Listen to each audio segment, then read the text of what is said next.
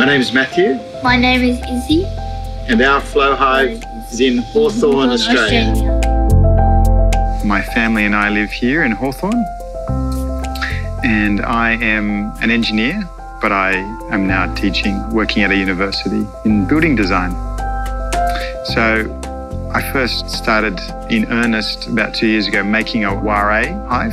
At the time when I was making my Warré hive, that's when I first heard of the flow hive. And then we were watching those intently and thought that was amazing, particularly because it met both bees, innovation, Australian design.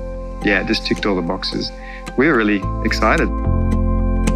My kids think it's great. My daughter is tentatively curious, but my son Isaiah and I are very keen now to be keeping on our beekeeping uh, knowledge and, and building on that. Yeah, I like doing it, doing it with my dad. So I like looking at the bees smoking the hive.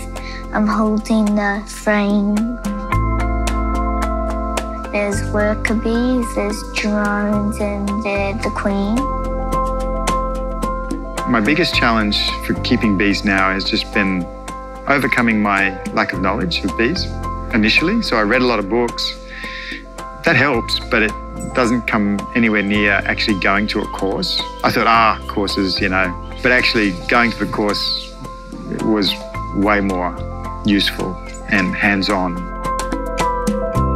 It's made me more aware of the, the potential risks to, to bees that are being not really considered by councils or by uh, local and state governments when they come to just spray wholesale across the city, not really thinking about that there might be bees or other ecosystems that might be negatively affected by such an action.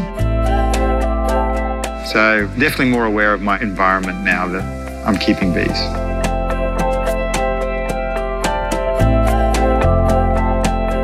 How cool was that? We've got lots of sweet stories coming up each week. So if you want to be up to date, hit the subscribe button below.